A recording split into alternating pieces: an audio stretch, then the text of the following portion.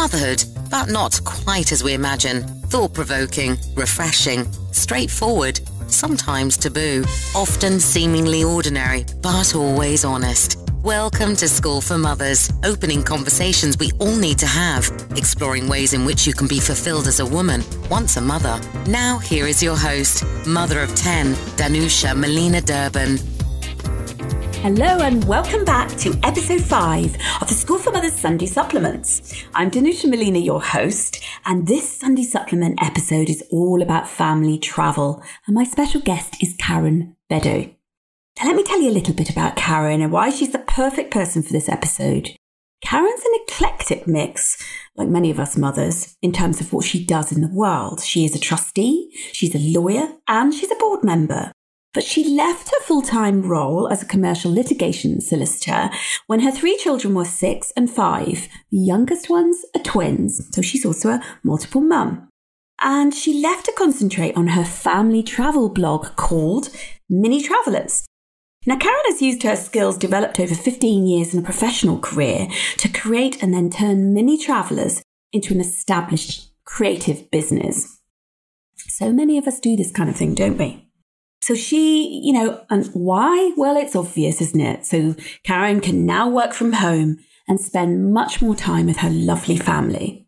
She's also a founder of a social media consultancy, Aster and Fern, and she remains a legal consultant and is also on the commercial boards of several companies. So she is a busy, busy woman with a cram packed portfolio.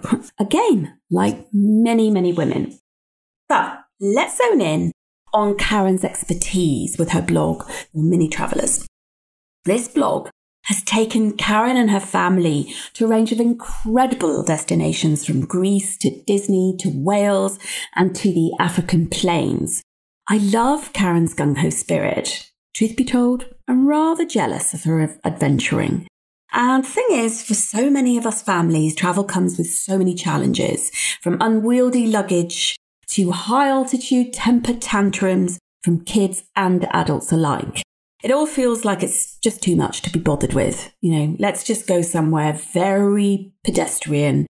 In fact, let's just not bother traveling until the kids are, I don't know, 15, maybe when they've left home. I don't know. But lots of us can't be bothered with the unpredictable schedules, long packing lists, and cranky kids. It's all too much. There's loads of challenges along the way, aren't there? And so that's why I wanted to bring Karen Beddow to you so that I could have a conversation with her about, you know, the best ways to go on family travels. You know, I have got uh, questions as long as my arm. Honestly, I have got so much. So I'm hoping to pack in quite a lot. Let's simply get going, shall we? Karen, welcome to the For Mothers Sunday supplement on family travel, it's fair to say that I am absolutely teeming with questions about travel because I got a lot of experience of trying to travel with kids, obviously with 10 kids. So, hello. Hi, and thank you very much for having me. Oh, you're welcome. I mean, I'm pretty sick of seeing Instagram. Well, no, actually, I'm going to tweak. I'm not sick of seeing Insta posts I'm kind of oscillate between being extremely excited by watching amazing travel that other families have and slightly sick of it. Does that make sense? It does make sense. Yes, I completely understand. Yes, I completely understand that. Yeah, it's like this this kind of um this very mixed up feeling about the lives of other people, particularly when they look so magnificent from far flung places. Yet I really want to see the behind the scenes of how did they get those five children all on, you know, to sit on a bench looking angelic with their ice creams that aren't rolling down their arms and they're not nobody's having a tantrum and nobody's stealing something from someone else like their ice cream you know I, I i would love to see how did they do that so i'm hoping that we can cover you know from how the hell people go on travels, how you've done it with your family, your three, and also in all sorts of ways, and, and also just some tips and like hacks and like I want to get practical with you. Okay. Yeah. That's good. Yeah, I can do practical. That's fine. Where should we start? Well, let's start at the beginning, shall we? so yeah. I think if you start traveling with your babies when they're really tiny and they're really little, then they get used to it. And you get used to it. And whilst I think when we first went on our trips with our three at that stage under, well, you know, 18 months, we took our parents, we took help with us. And at lots of times during that first holiday, I think it probably was, as the saying goes, you know, kind of same situation, just in a different place. And, yeah. you know, I think, I think that is and can be the case for that very first trip. But I think every trip you go on, you learn a little bit something more. And actually, the more often you do it, the more relaxed you become and the more relaxed the kids become. Really? And actually, yeah, no, really. I really, really do believe that. I really Good. do believe that. This is great. I like it. I'm, I'm all ears. I mean, I really. Yeah, Good. I think it's the same as anything else. You know, if you kind of, the first time you take them out on their bikes and you can't quite all manage to get down to the cycle path and everyone's sort of stressing about crossing the road and putting their helmets on. I think the more you do it, the more you practice, the more it's like anything else. You get better at it and it gets more fun and it gets more relaxing and it gets more enjoyable.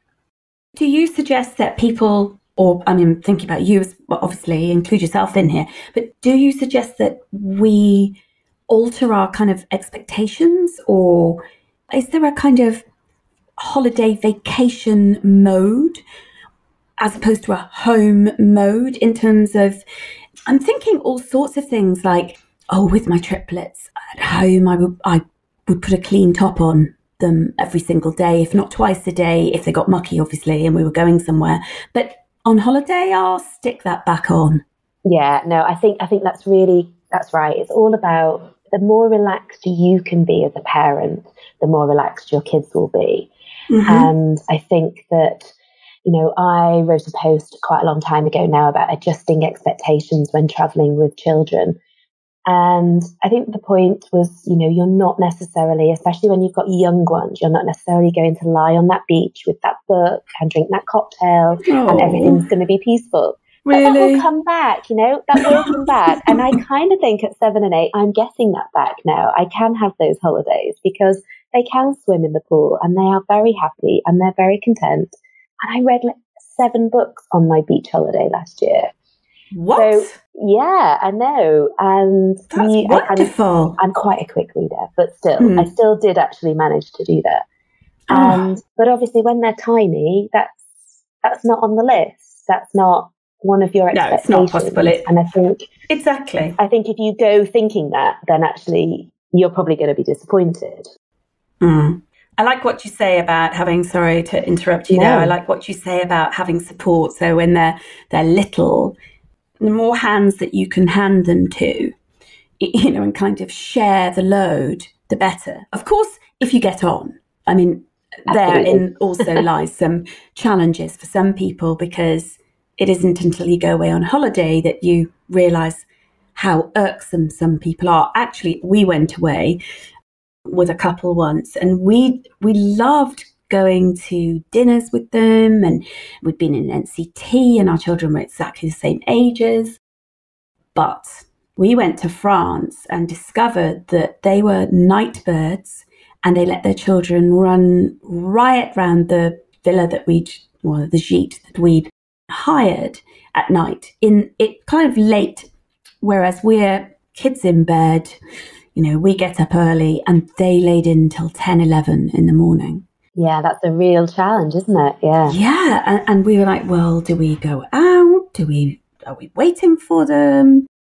That's a conversation to be had before traveling with other couples and their families. Uh, the kind of lifestyle choices, the, what is it? It's the rhythms of the home, you know. Yeah, which you don't realise. Yeah, you don't necessarily realise until you're away, and it can make a really big, a really big Mm. difference to the trip. Definitely. So yeah, definitely do your research on your hands.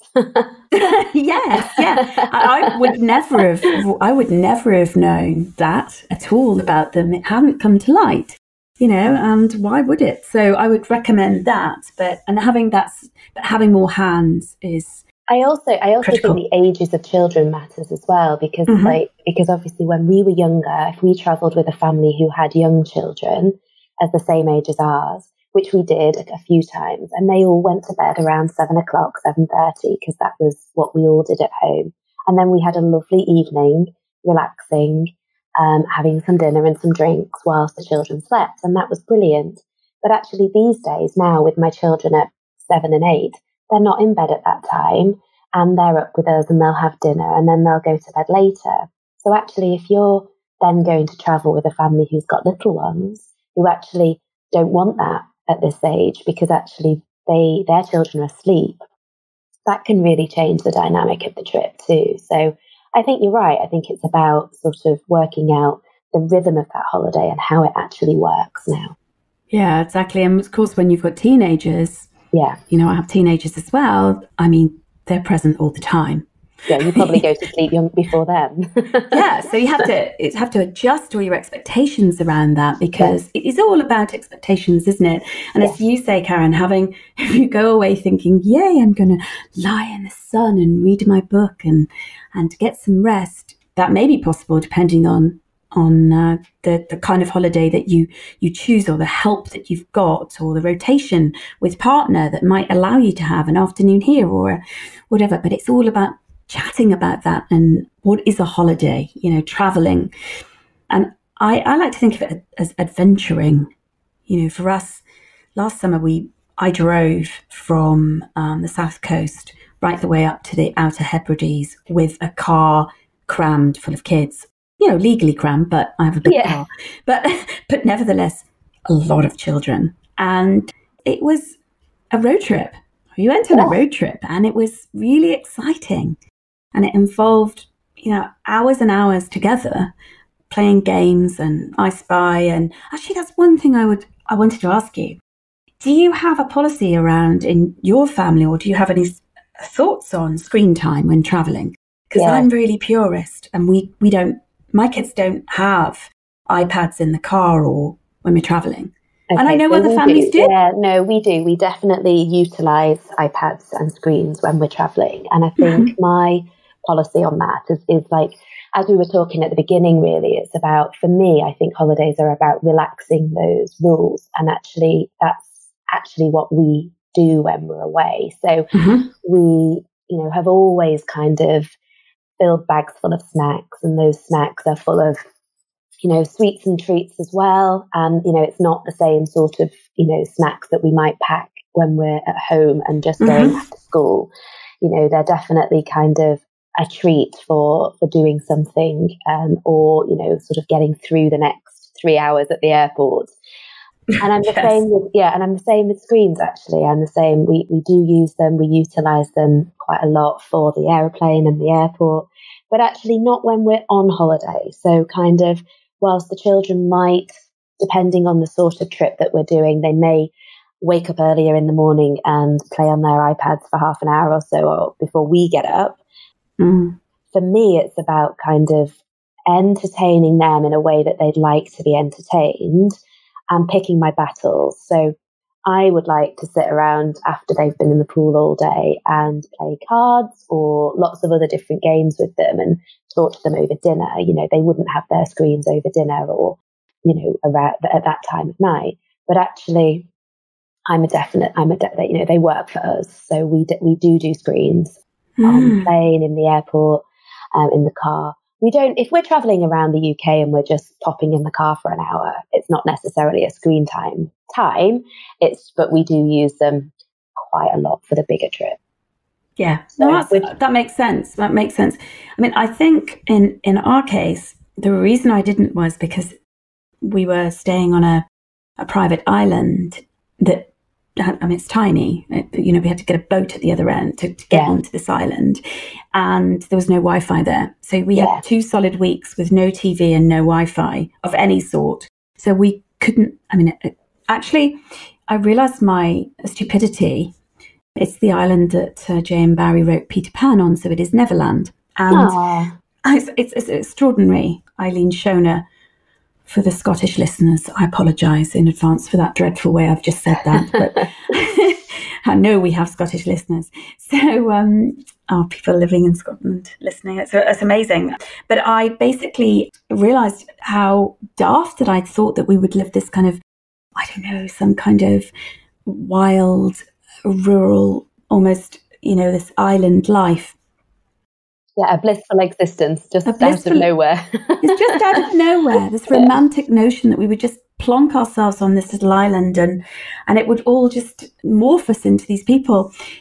And I, one day in, I thought because we could come off the island one day uh, on a Wednesday, and I thought, can I get to Fort William, which was hours away? Can I get to Fort William and buy a TV and just take it onto the islands so I could you know, use DVDs and like because they nothing worked. Literally, we couldn't yeah. even watch a film.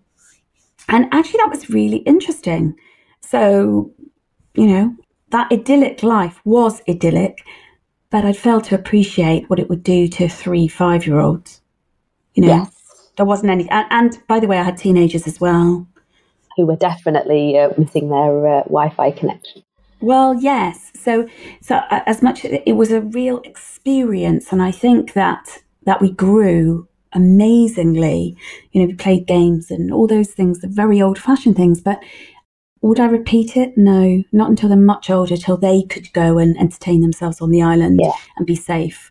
Um, yeah, but it was that, and that makes a big difference, doesn't it? Well, it does. Yeah. So these considerations around age, it's really important about what we expect for ourselves, but also what's really possible for our kids.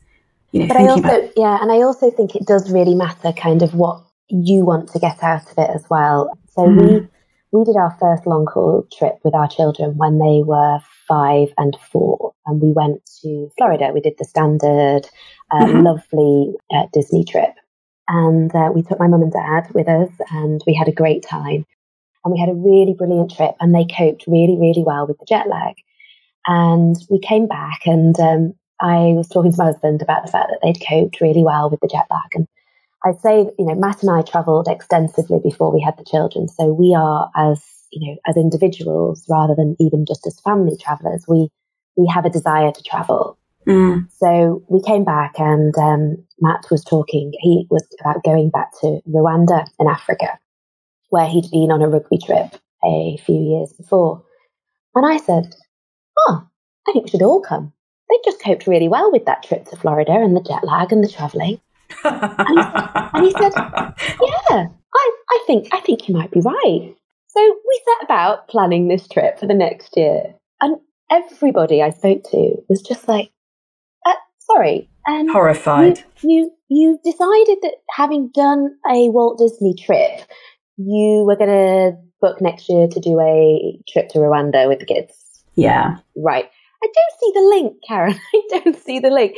But I think from my perspective, the link there is this is, you know, what, what would worry you about that trip? Well, the travel, how long the kids are going to be up and about, what are they going to be doing? So there was lots of things that other people were worried about safety, Africa generally, injections, all those sorts of things. Mm-hmm. Those kind of things weren't on Matt and I's ra- radar because we'd already done our research. We he'd, he'd already been there. We knew it was a safe country to visit. Yes. So we we discounted all that. What I'd actually been concerned about was how the children would cope with the long flight and how yes. they would cope with the jet lag and how they would cope with their body clock being upside down and those had been my concerns. So I think that when you're traveling and when you're deciding what you're going to do, what you actually have to think about is what are your concerns as a as an adult and mm. and how are they going to be and, and how can you prevent those from being a concern or how can you deal with them? So, you know, what my concerns are will be slightly different nowadays to what a new mother with,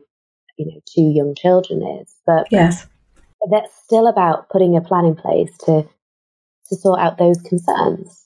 And when you can sort out those concerns, whatever they might be, if you plan and prep and talk to people and read up on things, then I think you can get yourself into a position where it's like, oh, actually, this isn't going to be as bad as I think. So, did you go to Rwanda? Yeah, we did. What was it so like? we did. It was all. It was amazing. We had an absolutely wonderful trip, and I think that when we were going, we thought that it might be a bit of a vanity project for Matt and I because we really wanted to go and that the children wouldn't hate it, but I'm not sure I thought that they'd love it. And they absolutely loved it. They loved every single minute of it. They fully embraced it. We did some, we worked on a charity project for a week and then we explored for a week. And they, they were brilliant and they were amazing. So much so that we came back and we did Malawi last, last year mm-hmm. with them for two weeks. And we are actually going to Tanzania on Sunday for two weeks. So oh, awesome. We are, we have settled wow. into a kind of long haul Africa at the moment Africa, but trip every every year. So because they loved it. I'm fascinated by. I mean, congratulations. I mean, it sounds wonderful. Um, I mean, by the way, you could be forgiven for thinking by from the way that I introduce this this topic that I'm you know I'm I'm shy of um, traveling, and it's quite the opposite. Actually, I've done lots and lots of, and, and I love Africa by the way. So I used to live there, so I in South Africa, I have to say. So I, am the opposite. So I did sound very negative, and and I'm like it's music to my ears hearing what you're saying about your year. You know, now you're in that kind of pattern of going away, um, long haul. But I'm curious about charity work it's something I've always wanted to do with children, but I don't know how to pull that off. How do you do that? I think it's all about context and research and preparation, definitely. So mm-hmm. when we went to Rwanda, uh, my husband's actually very, or we're both very heavily involved in a charity, a very small charity called Friends of Rwandan Rugby. And they teach rugby to uh, lots of children across Rwanda on a very, very small budget. The charity runs on not much more than about five thousand pounds a year, mm-hmm. and they but they teach thousands of kids a week. And um, we went out to t- to do a week teaching rugby. So um, we went on a tour, and my husband and some other ladies and gents taught rugby, and myself and my sister in law actually, and the kids went into schools and um, did some uh, work with the children in schools just some sort of more exchange of information more than anything really. Mm-hmm. And um, but that was all about a contact. That was all about a relationship. But then when we went to Malawi last year, we did lots of different projects and we worked with a company called Responsible Safari Company. Mm-hmm. And they are a fantastic organization who it's a couple in England who set that up and they can organize lots of different um, activities for you when you're out there. So you can make it part of your holiday but actually mm-hmm. you're doing some effectively responsible travel. So we visited some local communities, we went to churches, we did a book bus experience where we um, went and did some reading with kids. So my kids were listening to um, African uh, kids in Malawi read to them. And we did some, we went on a project where they did some tree planting and, you know, put our money into that kind of thing. So almost paying for paying for projects that they are working on rather than kind of going and doing something that's I don't know, going you know, going and giving them something. It's more about supporting their project yes. that they're actually already mm-hmm. running. And the kids loved it. They had an absolutely fantastic time. And, you know, going to the schools and seeing the kids and chatting to the kids, because English in Africa is often the sort of official language. Yes. Um, so they, a lot of them know, you know, a lot of the kids know that language. And having those conversations was fascinating.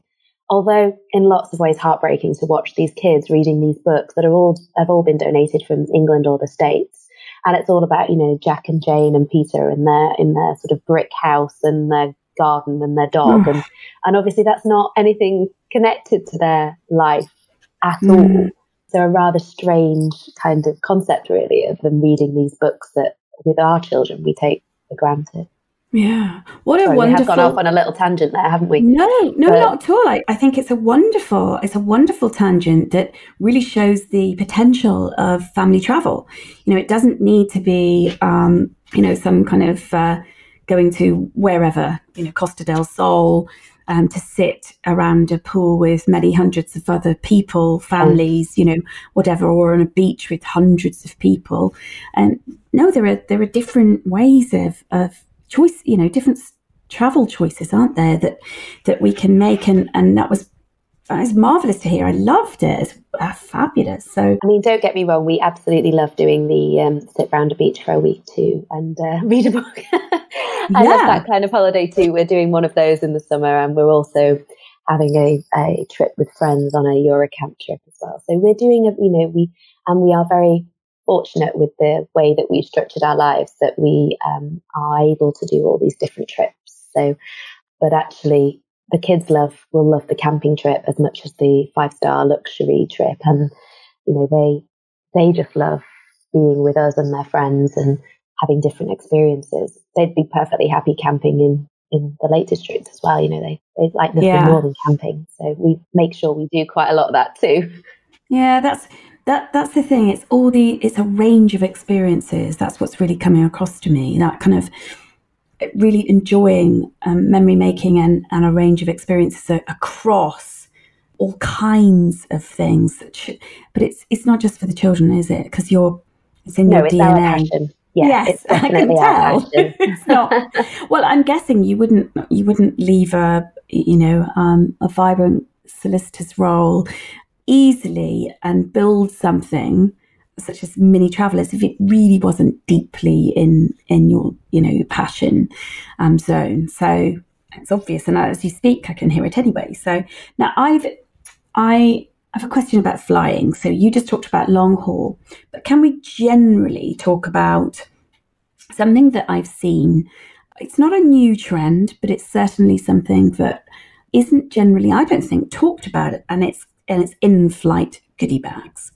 Now, what I'm talking about is the trend of parents creating goodie bags on flights to hand out to other passengers as a way of yeah. apologizing in mm. advance for their kids, for their traveling with their kids. And there yeah. was a really great case of this woman who who made 200 yeah. goodie bags and spread them around and the, the four month old baby didn't peep, make a peep on this long haul. You know, it's fantastic. Didn't didn't have the screaming fit she thought it would. And you know, they have earplugs in, sweets, candy, and a really cute little apology note normally. Mm. Now, what do you think? What do I think? Um, I think that it's completely unnecessary. Mm. I actually think the person who sits next to me that snores really, really loudly, or the or the person who sits next to me with the or behind me with the seven and eight year old kids who let them kick the back of the seat all the time are far more irritating than the baby who might cry. But what I would say is that for me, traveling is all about preparation to make me feel comfortable. So actually, if this action is going to make that mother or that father or that family feel more relaxed about the flight, so if they are worrying about their baby and they will be worried if the baby cries, and for them this satisfies their nerves and their fear, then I say go for it. Do whatever works for you. But I just don't feel like anybody should ever feel that that's necessary. And, you know, the baby has got as much right to be on the flight as anyone else on that flight. You know, they're there's nothing to say that anybody else's position is any more important than anyone else. And, you know, I think most parents on that flight would hear a baby cry and acknowledge it, then be like, oh, thank goodness it's not mine. And then go, oh, bless them, that poor family. You know, we've all been there. We all know how difficult it is. That's my view. You know, I don't think that people are staring at you or tutting at you in the way you think, there might be a grandparent or an old person or you know somebody who has feels like they've been too far away from that situation that does tut. But you know they're probably the annoying person that's you know putting their seat back and upsetting another whole row of people too. So i think if it's something that's going to make you feel better go for it. But if it's not something that you you know is a worry for you you really shouldn't do anything like that. Yeah, it's great advice because I, I'm taking the triplets on a flight in a few weeks, and it's their first flight, and I've deliberately not flown with them. I fly regularly uh, for business, and generally I would fly earlier, but triplets, mm, yeah. yeah, different category for me. you know, I, and I know lots of uh, higher order multiple mums of triplets, quads mm-hmm. that fly. And, and I'm like, hats off to them. But I know my capacity, and that's what's really where you're pointing us to, which is about our own comfort. But I am flying with them, and it's a three, four hour flight. And I really like the advice that I got the other day to pack up presents, uh, little little treats. You know, nothing nothing flashy, and have treats every thirty minutes. So they literally get a gift every thirty minutes. Yeah, yeah, yeah. yeah. And you know, go go to the pan shop or whatever it is. You know, mm-hmm. nothing mm-hmm. expensive, but something yeah. new to them that then is a distraction. And I really like that idea. Yeah, it's a lovely idea. It's a really good idea. I also always travel with the biggest picnic that you've ever seen. Um, when, uh, and when we fly, when we fly this weekend for a long haul, it will be enormous because you can take as much food as you want. You just can't take liquid. So I always pack an enormous picnic because there was nothing worse than grumpy, hungry children. Yeah. And actually, often they don't like the food that's served to them on the plane. Yes. And often they don't like the food that's available at the airport because, mm-hmm. especially younger children, they like really plain food. And, mm-hmm. or lots of, most children like really plain food. You can't buy a ham sandwich at an airport. It's always ham and mustard or yes. ham and cheese spread. Or, you know, it's really hard to buy plain food at the airport. So, yeah, I travel with a most enormous picnic. So it's snacks all the time, fairly constantly. And the idea of a little gift every, you know, different something to keep the boredom levels down is a brilliant idea. Yeah, yeah. And I, I hadn't actually realized that you could take as much food as you fancy. I, I didn't know that. Yeah, no, I was actually with a friend last weekend and she said that. She said, Oh, I just thought you couldn't take anything like that. I think I think depending on where you're going, like you get to the States and you might have to leave it on the plane because actually you're not yes. allowed to import food. Exactly. Um, but actually, you know, going on the plane, you can you can take it, you know, full on ham sandwiches, ham wraps, crisps, chocolate, the lot.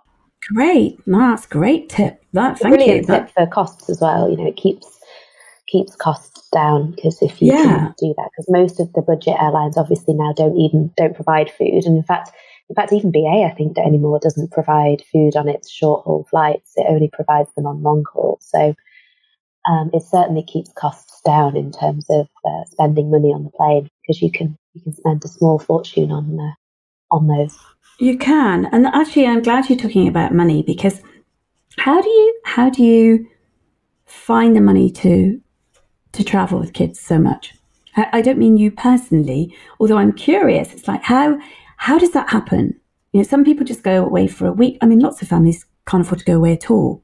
So, you know, what the cost thing? How, what's the cheapest way to have a, a break? And also, how do you find that money? Where does it come from? Well, it's really it's really tricky, isn't it? Because obviously, I am coming at this from a position of, of privilege in a sense. Because my, you know, I was a solicitor for a long time, and um, my husband was a surveyor, and we had, you know, quite big jobs. So we mm. would allocate our money in that way. Yeah. And actually, since you know I've been writing the travel blog, I we do a lot of complimentary stays in exchange for videos or reviews or things like that. So mm. we have we are now in a in a in a more fortunate position, but I know lots of families that aren't who just you know they save up every month and put that money away, and they don't necessarily do the cinema trips or the after school trips to the cafe or all sorts of things like that. They they yes. literally they keep any spare money on one side and they reserve it for trips. And I know lots of people like this who I've spoken to over the years who follow my blog and who follow, you know, and who are friends. And they, they, they literally, they don't, they don't buy new clothes particularly. That's not their thing. And I think it's very much about allocating your money to where you want it to go. And I, remember having a conversation with somebody um, quite a few years ago, this was before we had the children, and they were saying, oh, I can't believe that you're doing those three trips this year. And I was like, you just you just bought a brand new car, yeah? Like we mm. haven't got a brand new car, but you just bought one, so you're spending your money on your new car and or your new, you know, your newly renovated whatever. So I think it's about what people prioritize as well, and for me, the different trips are a priority. And even if they weren't these sorts of trips, you know, we're really lucky that we're doing some really ex- exciting trips this year as well. But we did a trip to Porto in Portugal last February half term, by way of example. And we stayed in a really cheap Airbnb and we got five flights at February half term for £240 all in for, for all wow. of the flights. Mm-hmm. And we ate breakfast in the apartment every day and we took stuff and we made up picnics and things like that. And we didn't actually eat, we didn't eat out in the evening. We might pick something up, but we didn't. So we didn't spend a fortune that week at all. Mm. We do that quite regularly at half term. Actually, we did Lisbon the year before because that was really got really cheap flights the same. We did a an October half term trip and we flew into Bologna um, because I used Skyscanner and found really cheap. And that's what I do. I kind of use Skyscanner yeah. and don't put in a destination and just think, you know, oh, that's an amazingly cheap flight. Why don't we give that place a go? I, I uh, love Skyscanner, and especially yeah, if you put great. anywhere. Anywhere. Like, oh, yes, anywhere. Yeah. It's fabulous, isn't it? Really is. So we ended up in, for this February half term, we ended up in Hamburg, and we actually flew into Hamburg and then got the train, had a little bit of time there, had got the train down to Berlin did a little bit of time there and then flew back out of Berlin because that was the way that the flights were cheaper. So it's wonderful. I love what you're saying. I really do. Have you ever house swapped? You know, we haven't.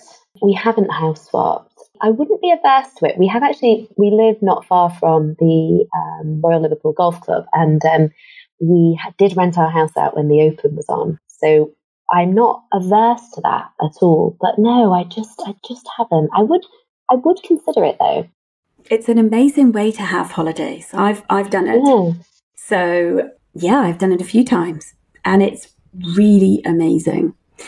Yeah, I, I once I once swapped our lovely lovely house. Um, I used to live I live up north. Um, now we're down in the south in the UK, but I lived up north, and I wanted to take the children. We wanted to take the children to Scotland. Oh, I, I, I can't think where I was, but kind of near Aberdeen, over that side of Scotland, and really lovely. But when when we were about a mile away from the house, and it was a long journey, nothing like I did though last year.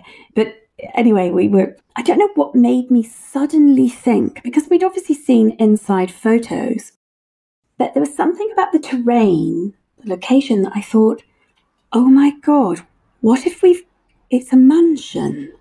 right. and I don't know why that suddenly happened, you know, kind of yeah. happened to come into my head.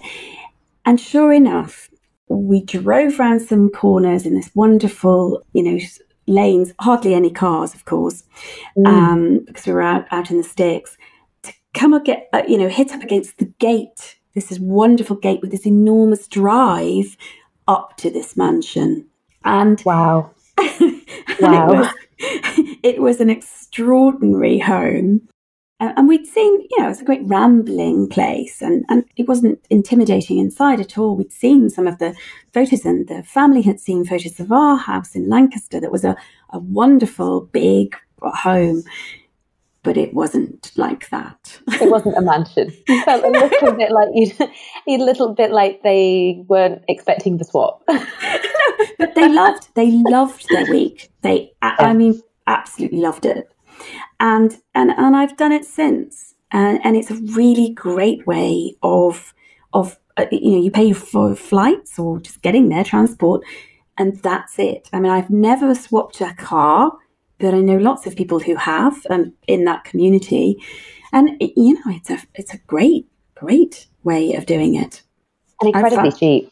Incredibly cheap, and of course, if you if you swap with people with a family with the same ish age, you know, mm. I have a, a playroom, you know, and and so I would I would want that, and everything's here, everything.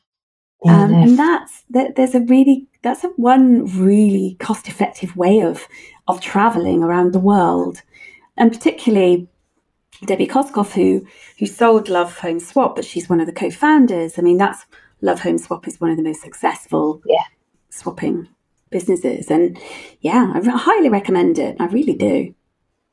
I also think camping I also think that actually giving camping a go, even if you're not sure, and if you can get into it and if your kids love it, it's a remarkably cheap way to get away and have and have holidays. And you can do that. You can you can camp for more of the year than you would uh, expect if you're you know if you're game. And you know I've got so many friends who are so so into it and enjoy you know taking the kids away for three or four days at half terms and just letting them run free on campsites and having a really kind of, you know, in a way with other children all over the place, playing cricket and rounders and football and just having this outdoor lifestyle that you might not be able to have at home depending on where you live. And staying up later and, you know, just having campfires. It can be an absolutely hmm. brilliant mm. way to hmm.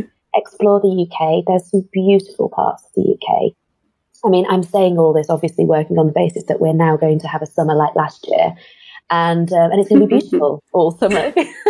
I definitely have a little too many camping trips booked in for the summer on the basis that it's going to be beautiful like it was last year, which is you yes. know probably unlikely given the past 40 years of my experience, but um, mm. let's go with the fact that it's going to be like last year, and it'll be a great way to do it. Yeah. I also think just borrow some camping kit. There'll be somebody you know has some camping kit. I've we've lent ours to loads of people to give it a go because it, you know it can be quite expensive to try mm. if you don't think you're going to like it. But it's a great way to explore and spend a bit of time. I completely agree with you, Karen. I saw, and I'm, I'm not what you would think of as a camping, you know, up, up for camping, but a couple of years ago, I saw a great advert for this fabulous tent, and the couple had bought it and used it once. It was worth a thousand pounds and they wanted 400. They just wanted it gone. It had been their big mistake. They didn't like it. Yeah. They bought a caravan and, uh, you know, in their marriage, it was a kind of get that gone. I don't want to see that ever again. Yep. I'm never going. And I know because the guy was, it was hilarious. And I travelled quite a way to go and get it. And I was like, okay, uh, at least I haven't spent a thousand on it.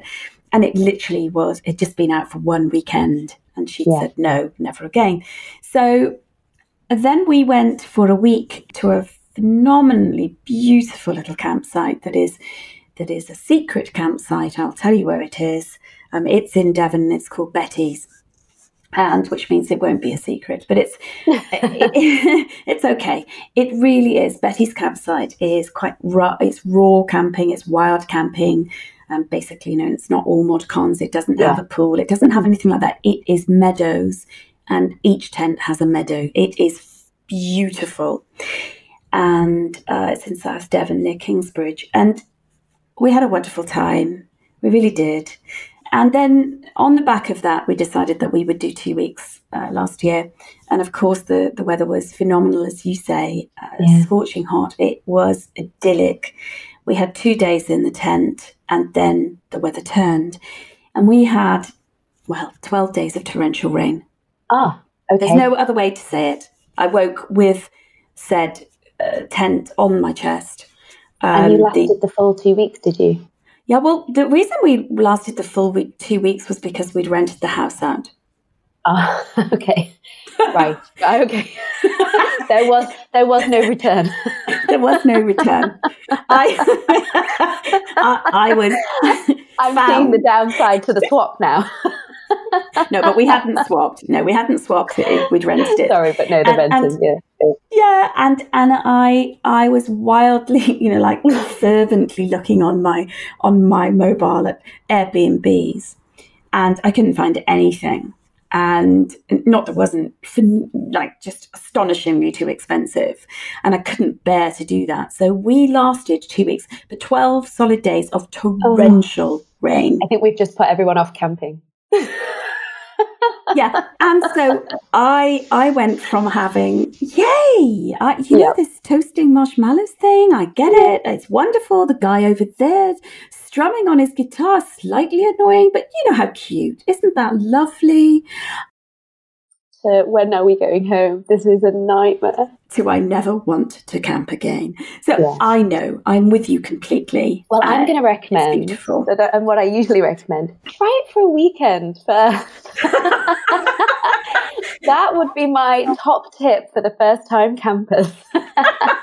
I love it. Yes, Karen. Don't book a two week trip or even a week because that's a little bit scary and could put you off and make you all never do it again. Just try yes. it for the weekend and see where you go. I completely agree. And if if you would just like to dip your toe in the camping lifestyle, then there's lots of there's lots of camping, you know, campsites with yurts. Yeah, and you know they've got lots. So there's lots of you know tents, uh, and families are and whatever couples and solo travelers are out there in their lovely tents, and you can be in your own yurt with your bed. So, um, and by the way, on that same campsite that we were on, there were yurts, but they, but it was all full. Actually, one of my funniest, one of my funniest memories of that, and the children's funniest memories of that holiday, that that never to be talked about really mm-hmm. 12 days was or never to be returned to was never to be returned yes in the middle of the night with sopping i was you know thankfully i'd packed wellington boots even though it was sweltering hot. I thought, you know what? If all goes wrong, we need our boots because I couldn't return to the house and my own home. And basically, I heard I heard this family in the middle of the night saying, "Just get it in," and they'd they'd literally flung up the back of their car. They were throwing the tent in. Don't worry about folding it up. They were chucking it in. No, they had, it in. Yeah. yeah, they were. They got the kids. Get him in the car. we can dry it off at home. It'll be fine. They were yeah. livid. They were, and it was about three o'clock in the morning. It I'm surprised was, they didn't leave it. To be honest, just yes, leave it. We're not going to be camping again. Doesn't really matter. yes, it was one of the funniest sounds of the children being bundled in in their pajamas, like and oh. off they went. Well, they had to oh. kind of they had a bit of difficulty. Yeah, well, we have car. definitely just put everybody listening off off camping now, so uh, maybe we won't we won't have that as the top tip for cheap camp for cheap holidays. but the bottom line is, when it goes well, it's beautiful. Yes. It's an amazing experience, and I highly recommend camping. It's to be prepared. I was so thankful that I'd thought about those wellies. I yeah. was thankful that I'd put the, you know, the the wet weather gear in, even though that seemed like a really ludicrous idea. We'd had weeks and weeks and weeks of beautiful weather. But it's the UK. That can go yeah. at any time. As it did. As it did. and it did, yeah. So yeah. we haven't tried anything like cycling or walking holidays yet, but those are those can be really fantastic as well, can't they? Yeah, they can be really popular, and I think actually, as you know, we, I'm, I've my all my children are the, very much the same age. So I have seven year old twins and an eight year old. Um, mm. So as they get older, you know, we're going to be able to do the same thing. And I think that you know one of the difficulties, I suppose, of those kind of holidays is if your children are all spread out in age, they can they're all at different levels in terms of what they can do. So yes, I think it, it can be a bit trickier, but actually, I think they're amazing. They're amazing ways to spend the time. And, you know, you spend it all together, which is nice because actually, you know, I think there's, you know, I, I speak to a lot of people who have very different views on holidays and whether there should be kids clubs or whether there shouldn't be kids clubs and who's interested in them and who isn't interested in them. And I, we, we, we do a lot of different ones. You know, we go on on trips where there are kids clubs, but we go on trips where there isn't a kids club and we spend every minute with our kids doing, you know, like the volunteer projects in Africa. So mm-hmm. that we do we do a mixture, and I think I don't think anybody should be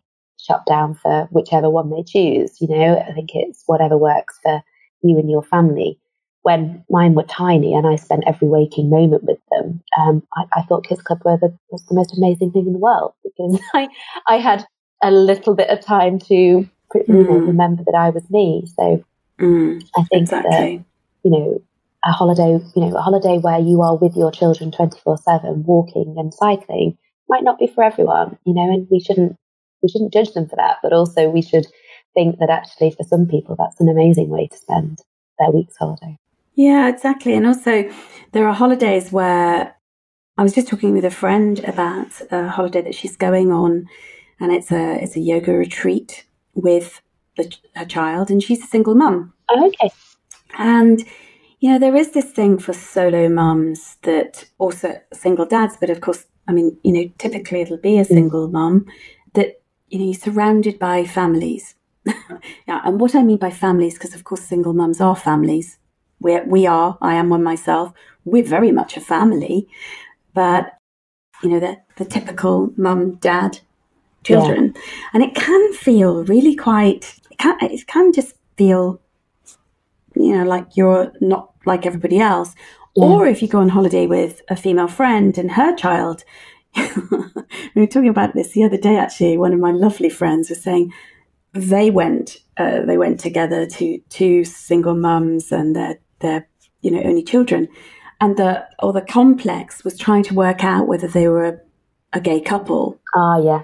Yeah, so there was, you know, lots of, oh, and how long have you known each other questions. like, I mean, uh, it's, it, so it's, I think there are some niche holidays that are really fantastic, you know, to, to actually, not just for single mums, but all sorts of niche holidays that are important to look at in terms of, again, what you want out of a, you know, yeah. traveling. Um, one of the trips that I'm really looking forward to this year and is um, we're going on a uh, water sports type holiday mm-hmm. in summer to Corfu.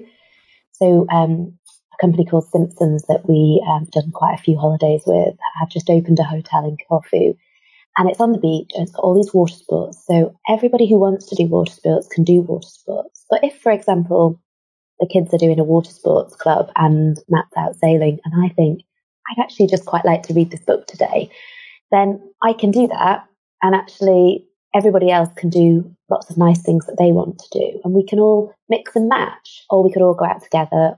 And I love the water sports angle because even mm. when the hmm. kids, they, they're running a kids club, but even when the kids are off doing their kids club, they're off doing sailing and windsurfing and water sports. And I think it's a really fab way of everybody doing a little bit of what they like and making sure that the holiday works for everyone, really. Mm. Yeah, you're reminding me of skiing, actually. Yeah, yeah, I like that idea, really. Yeah, exactly. So I, I've taken my my kids to um, not the triplets, but older children to um, Sweden, and and we've done quite a lot of skiing there, and and I love, I love, you know, ice skating and saunas and and like my um, my children astonished uh, the Swedes that that were at this particular oh, yeah. thing by actually going, you know, d- dipping into the ice cold lake. Yeah. Um, oh, and they, you know, that's known as winter Swedes, and uh, it's very proud. I mean, obviously, I did it as well, but um, yeah, it's it is finding what will work for everybody and having enough to be entertaining them because there's nothing worse than having some grouchy kids that feel hard done by because one person is having a great time. you know? No. But I, I also think so. My takeaway from our Africa trips was that if you put my eight year old near a swimming pool and a and then try and take her away from the swimming pool to go and do something like a walk to a monastery or something, then she does not want to do that. She has absolutely no interest in leaving the swimming pool. The swimming pool is her cultural home, and that's where she wants to stay. But if you stay somewhere without one, and actually you embark on this adventure that doesn't involve a swimming pool at all, then she's perfectly happy, perfectly happy. But it's it's and so I think it's about learning what your children will put up with, what they enjoy, what they will, but also just putting them in situations that means that you know they're not uncomfortable you know they're not unhappy with what you're asking them to do so you know if you take them somewhere that is beautiful and they're happy and they're playing with their friends by the pool and then you want to take them on a hike up a mountain um, they're probably not going to be very happy about it. no it. of course they're not going to be but isn't isn't a lot of what we're talking about the way that we frame it to our children yes i think it is yeah yeah so how do you frame their it? expectations as well? yeah, because if you say we're going to have, you know, this is we're going on holiday, because I've noticed that we're talking about travel and holiday. There's, it yeah, almost feels like yeah. they're different, doesn't it? Yeah, I think they are. Yeah. Yeah. Yeah, I yeah. think they are. And I think we talk to the kids a lot now, I guess they're older, about what their expectations are going to be and what the trip's going to be like and how we're going to, what we're going to do and, you know, whether there will be a swimming pool at any of the places that we're staying at or whether there won't be, you know, or is it that kind of holiday or is it this sort of holiday? Yeah. Or mm-hmm. is it an adventure? Is it, you know, and we, yeah, you're right. We do, we do describe the trips in very different ways. So our, our Hamburg and Berlin trip was a city break. And we did describe it as that. It was a, it was a break in a city. It wasn't a holiday with, because they just, they, they, they think holiday means sun and, and pools. And I appreciate yeah. they're very lucky that that's what yes. holiday means mm-hmm. to them. I, I know that, but yeah, that is their expectation. And I think going back to the beginning of the conversation when we when we started this, we talked about adjusting our expectations about what travel with children was about. And that's the same with them. You know, we have to, we can't suddenly say to them, this is what a holiday's been like for you for the past five years. And, oh, we're going to do this one and it's completely different without talking to them about how it's going to be completely different. And before we did the Rwanda trip with them, we sat them down and talked to them about what they might see and how they might, you know, what it might feel like and what they might experience and we and we told them they were going on an adventure. You know, it, it was the Rwanda adventure. It wasn't described as a as a holiday at all. Oh, and, it's um, critical. It's and really as a result critical. of that, that's you know that's what their expectations were, and I think you know it massively exceeded their expectations as a result. Yeah. Oh, I love this. I really am grateful for all of everything you've said because to frame it for the kids to, you know, and, and manage their expectations and we'll really, really get into conversation about what what they need, what what they think it'll be like, what's it possibly going to be like, and then to actually you know go and experience it with them, but also our own as as parents, as mothers, of what we need to actually. It's so important rather than oh, should we go away? What should we do? Oh, yep, there's the place. Right, nice rooms, nice whatever. That's a completely different way of introducing travel to us as a family, you know, ourselves as, as individuals, yeah. but also family. So it's, I love your perspective on this, and I'm slightly even more jealous now than I was at the beginning don't, don't follow my don't follow my Instagram feed for the next two weeks then.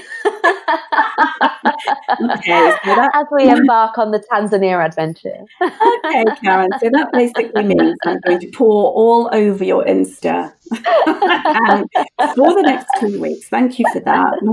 But but it has, you know, I, I hope what this has also done for listeners is because it has for me, Karen, is to actually kick me up the arse a bit very nicely to actually think, right, what else could we do? Like, what other adventures could I get in the, you know, penciled in and actually booked that don't cost loads of money, but also I love the idea of charities and I'm, I'm going to pursue that for my family because I think that would be an, an amazing thing to do. So thank you so much for this conversation. I've loved it. Thank you. You're very welcome. Thank you very much for inviting me on. Thank you.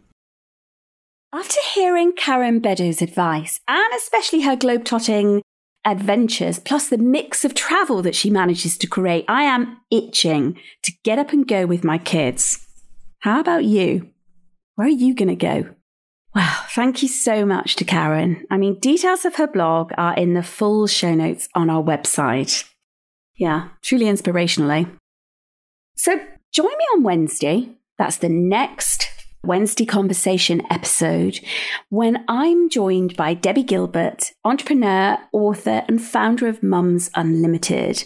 Oh, and also Business Awards. I mean, there's a whole host of titles that I could tell you about, but I'm going to leave it until Wednesday. We'll be exploring how to lift others and the importance of sisterhood. Debbie is an impactful, wise, and influential entrepreneur. I can't wait to pick her brains next week. That's it. Till next week, then. Same time, same place. Meet me here. Thank you so much for joining us again. Here's to you. Bye. Thank you for tuning in to the School for Mothers podcast. To continue the conversation and keep your dose of inspiration up, head over to schoolformothers.com forward slash podcast where you'll find bonus content from Danusia and her guests on habits, recommendations, books, best apps, time-saving secrets, life hacks, health, sleep and anything in between. That's schoolformothers.com forward slash podcast.